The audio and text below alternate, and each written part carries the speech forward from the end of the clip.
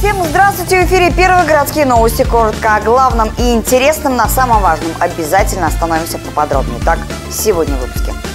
Итак, сойдет новый режим светофора на Щерца. Похоже, с нами навсегда. Врачи спасли малышку, попавшую под тракторную телегу.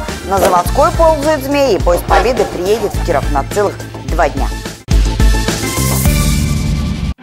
Новое пробочное направление. Кировчане не могут смириться с новым режимом светофора на перекрестке улиц Попова и Щороса. И, видимо, ничего уже не изменить. Сегодня время ожидания зеленого добавил и перекрытый за ремонт от труб перекресток Некрасова-Пугачева.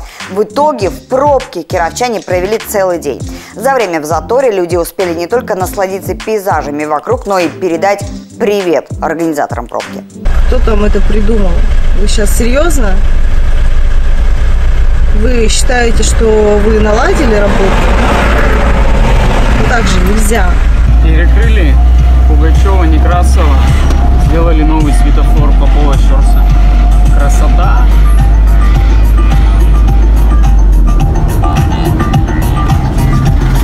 Напомним, что кировчанам обещали новый режим светофора, только эксперимент, и он пока работает в тестовом режиме. Но, судя по всему, уже нет. 20-секундный зеленый для тех, кто прямо, и отдельные секции направо и налево оставят. В администрации сегодня нам сказали, что изменить режим светофора они не могут с большим акцентом на то, что это требования ГИБДД, мол, к ним и все претензии. В госавтоинспекции эту тему нам по-прежнему никак не комментируют.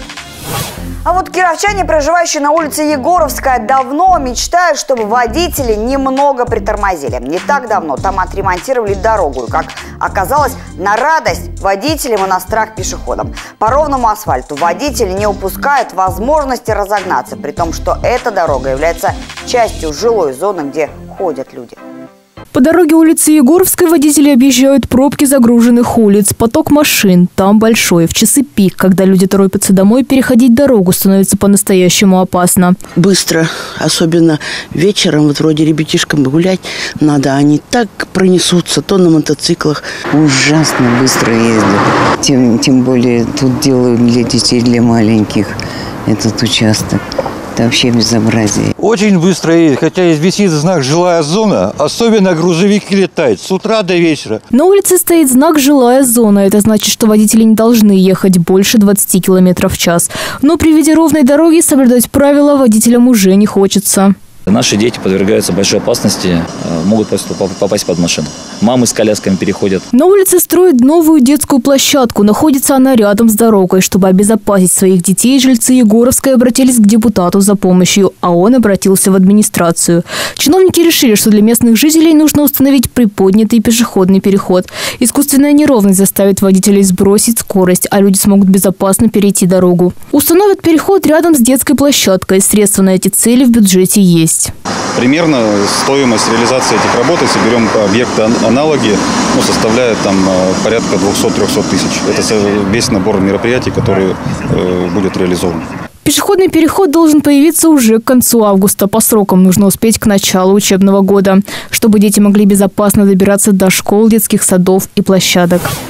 Травматизм среди детей летом – тема действительно актуальная. Врачи Кировской детской областной больницы спасли девочку, которая переехала тракторная телега.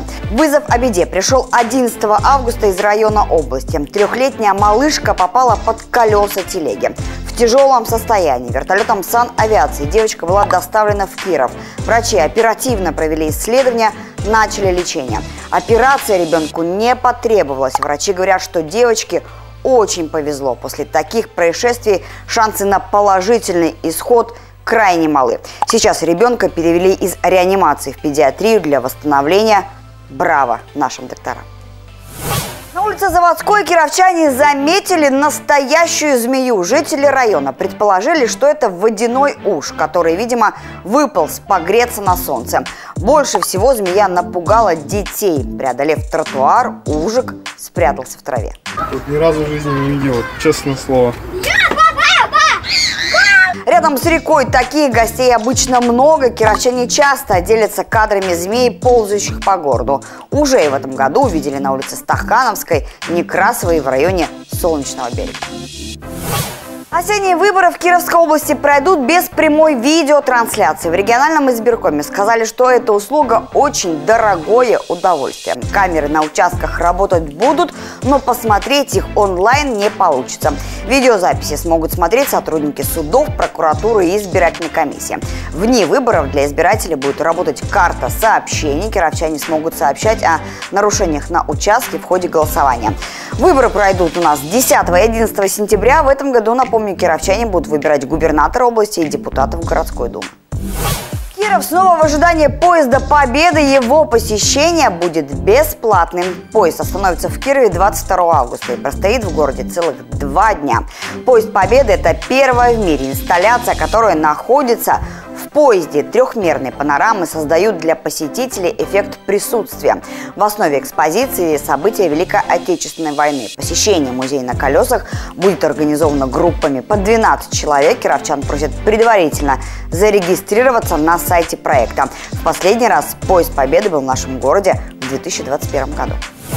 Кировчане могли заметить новые рисунки на стенах жилых домов. Их украсили яркими граффити ко дню флага. Большие рисунки раскрасили цветами российского триколора. На трехцветные картины художников вдохновили советские мультики.